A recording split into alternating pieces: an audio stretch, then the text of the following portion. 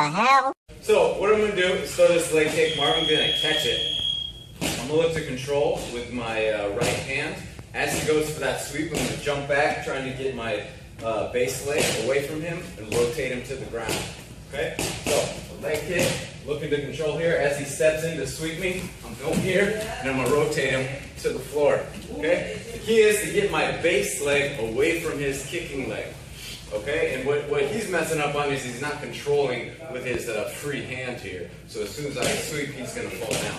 Okay, so go full speed here. and that's it.